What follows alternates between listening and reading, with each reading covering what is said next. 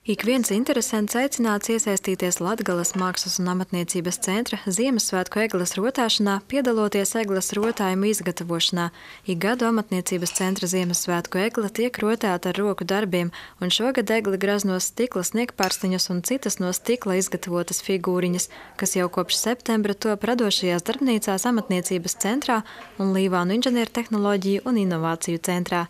Stikla rotājumu izgatavošanas darbnīcas vada Inga Salmiņa, kura uzsver, dalība ir bez maksas un piedalīties var ik viens interesants tikai iepriekš jāpiesakās. Nāk plašu kolektīvi, nāk darba kolektīvi, um, ģimenes, draugu grupas. Nu, ir dažādi īstenībā. To pat nevar tā pateikt, ka tas ir um, viens konkrēts vecums, kam interesē, jo ir, ir bērni, kam ļoti patīk, ir vecāki, kuriem ļoti patīk.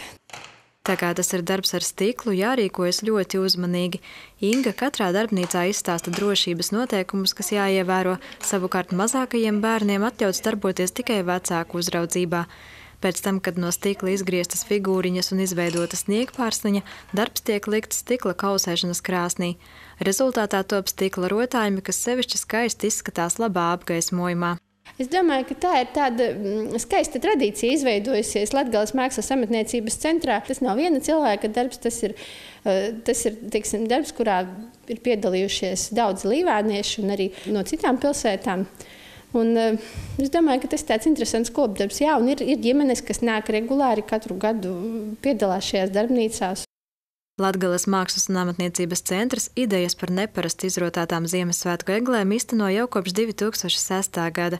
Ir bijusi māla zvaniņiem rotāta egla, citus gadus eglē karināti cimdu pāri, pašdarinātas pastkartes, tamborētas sniegpārsniņas, adītas cepures. Vienu gadu Ziemassvētku egla bija īpaši kārdinoša, jo to rotāja iedzīvotāju ceptās pīparkūkas. Savukārt šogad aktualizēta stikla tēma.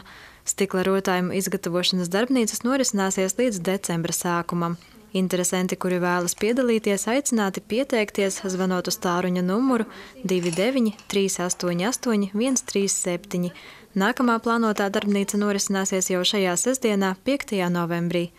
Sandra Paigļkalne, Kārlis Bukacinskis, Vidusdaugavas televīzija.